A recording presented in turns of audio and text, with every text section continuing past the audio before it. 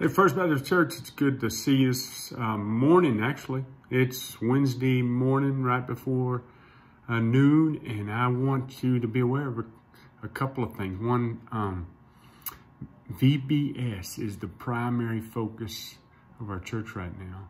Uh, the sanctuary is being decorated. We're excited about that. It's going to be um, a wild, crazy, making waves kind of deal. So Sunday morning, uh, we're going to have, our sermon is going to be focused on that. I'm going to wear an, a, an, a Hawaiian shirt. And so I encourage you to. Uh, it's kind of a beach theme. You know, no, no, no bikinis or crazy flip-flops or any of the short shorts. None, none of that.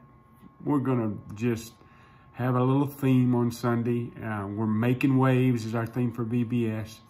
We'd encourage you to, to come and be a part. We've got a couple baptisms on Sunday we want you to see.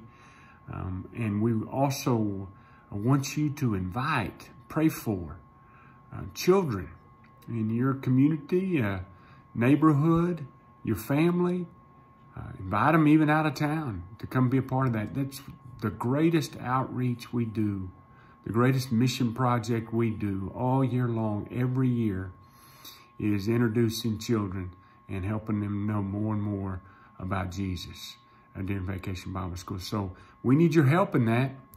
And that starts uh, on Monday, and we'll be going like 1 to 4, Monday, Tuesday, Wednesday, Thursday. Have a special family night Wednesday evening, about 6.